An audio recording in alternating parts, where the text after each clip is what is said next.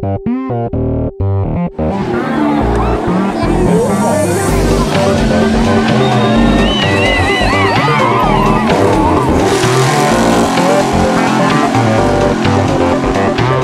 is ready, we're ready, we've got our pre-runs down. We're feeling pretty confident this race. We're, we're hoping to get on the podium. Uh, everybody likes the course. It's got some rough technical stuff. Uh, uh, it looks like a real fun course. Pretty excited about it.